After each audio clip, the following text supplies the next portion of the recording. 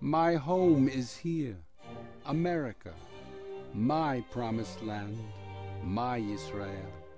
What God gave to my ancestors, He now gives equally to all.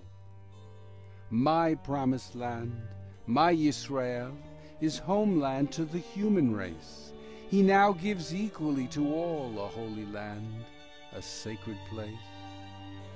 Is homeland to the human race, the world's long longed for world to be, a holy land, a sacred place where all alike are safe and free. The world's long longed for world to be, what God gave to my ancestors, where all alike are safe and free.